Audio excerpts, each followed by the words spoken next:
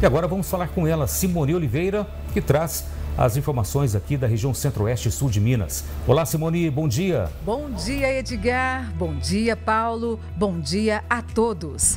Em Itaúna, um grave acidente envolvendo dois carros e uma moto deixou três vítimas com vários ferimentos. Câmeras de segurança captaram o momento exato do acidente. O vídeo mostra quando o motorista de um veículo modelo Fox perdeu o controle da direção e bateu com o carro e a moto estacionados na frente de uma padaria. O Fiat Uno ficou destruído. Conforme a polícia militar, o condutor apresentava sinais de embriaguez e fugiu do local após a batida. Em Divinópolis, uma mulher de 35 anos foi multada pela Polícia Militar de Meio Ambiente por criar animais silvestres em cativeiro e sem regularização.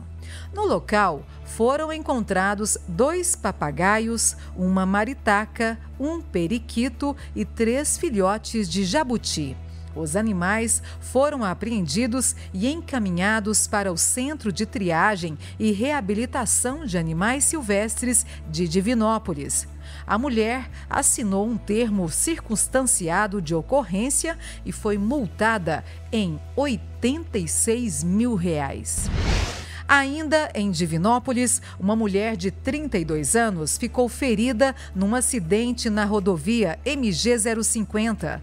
De acordo com a Polícia Militar Rodoviária, a condutora relatou que passou mal vindo a desmaiar, momento em que colidiu na traseira de um caminhão. Ela teve ferimentos leves e foi socorrida pelo SAMU. Em Bambuí, um homem foi agredido com golpes de foice. Três suspeitos das agressões foram detidos. A vítima sofreu ferimentos graves na mão direita e no braço esquerdo. De acordo com a polícia, a vítima contou que um homem de 27 anos proferiu ameaças a ele devido a questões relacionadas ao tráfico de drogas. Durante a discussão, o autor pegou uma foice e desferiu vários golpes contra a vítima. Em Formiga, policiais abordaram uma moto conduzida por um jovem de 20 anos.